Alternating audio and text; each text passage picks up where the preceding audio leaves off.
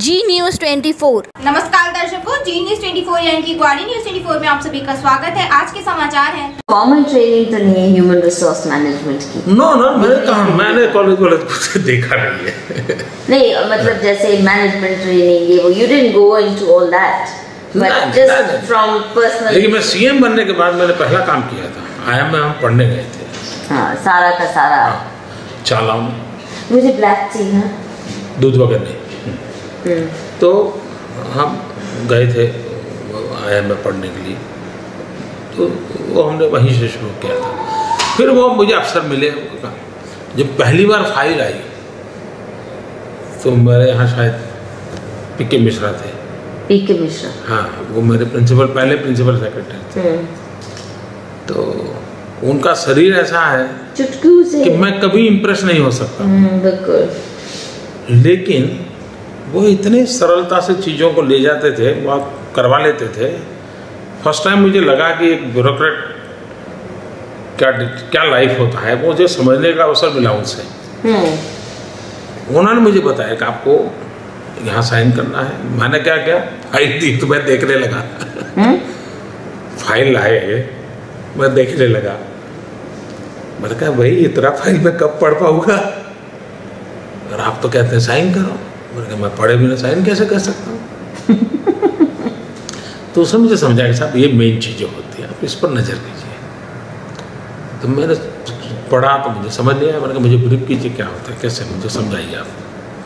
और मुझे याद है, जैसे एक छोटे बच्चे को सिखाते हैं, मुझे वो पी के मिश्रा ने सिखाया था। फिर मुझे, मैंने अपना जेब से पेन निकाली।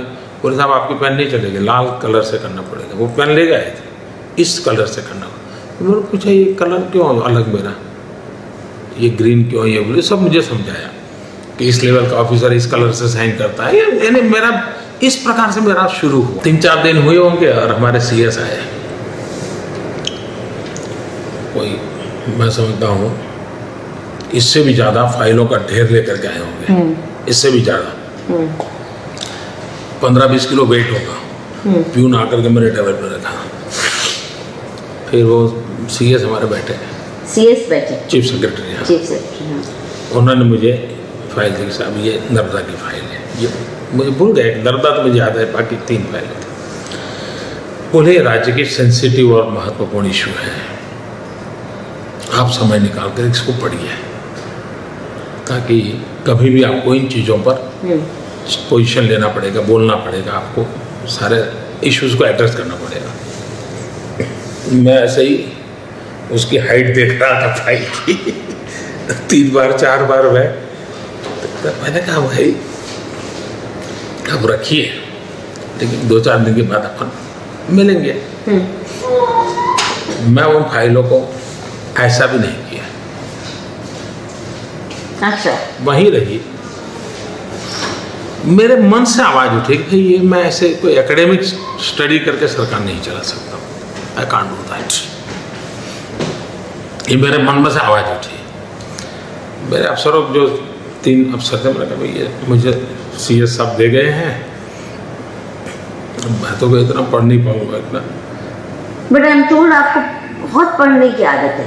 कोई भी आपके सामने कागज़ लाता है कोई कुछ। मैं बताता हूँ ना मैं उस उस समय की घटना बताता हूँ। मैंने कहा भाई ऐसे तो मैं कोई पढ़ नहीं पाऊँगा। पहले आप लोग मुझे इसका समझाइए आखिर के ये मसाला है क्या? मुझे कहाँ से शुरू करना क्या करना? मैं ऐसे ही कागज़ देखता जाऊँगा तो मेरे बस का रोग नहीं है। और फ़ाइल नाम की चीज़ पढ़ना ये तो मेरी बोरिंग भी। प्रकृति में ही नहीं है मैंने कभी ज़िंदगी में देखा नहीं। मैंने उसको छुआ नहीं छुआ नहीं। छुआ नहीं। बिल्कुल नहीं छुआ। तीन चार दिन के बाद सी एस आए मैंने कहा फ़ाइल में मुख्य बातें क्या है जरा मुझे बता दीजिएगा। तो उन्होंने मुझे बताया। मैंने कहा मेरे लिए इतना काफ़ी है आप इसको ले जाइए। उसके बाद मुझे कभी भी इन विषयों का ब्रीफिंग नहीं लेना पड़ा है। आज तेरह साल हो गए। क्यों? मेरा इतना ग्रास्पिंग था। उस विषय को मैं इतनी बारीकी से पकड़ लिया।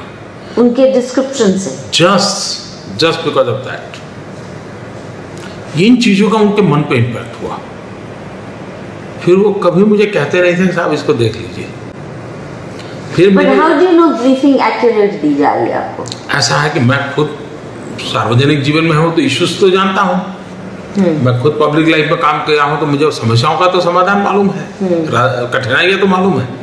उनका परसेप्शन क्या है? सरकार व्यू पॉइंट क्या होता है मुझे जानना है। एंड मुझे गवर्नमेंट व्यू पॉइंट को कैरी करना है क्योंकि I am part of government now उतना ही मुझे मिसिंग द लिंक जो होती है वो उतना पकड़ना था। वो उनको मालूम नहीं था मुझे क्या पकड़ना है। उनको तो लगता था कि सारा बंच देना है। मुझे ज़रूरत नहीं थी। मैं सिर्फ़ और शायद मुझे आधा घंटा लगा होगा। हम्म। उन कामों को। दूसरा क्या होता है मेरा फोटोजेनिक है। मेरा मैं जब कागज़ आता है तो यूँ मैं ऐसे ऐसे नहीं पढ़ता। पूरा पेज ऐसे और मैं ऐसे रख देता हूँ।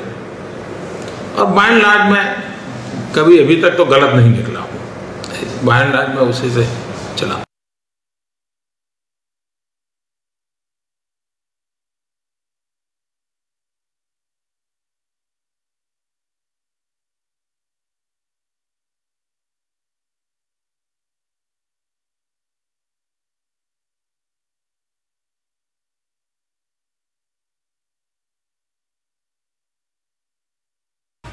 आज के समाचार में बस इतना ही। फिर मिलेंगे तब तक के लिए नमस्कार।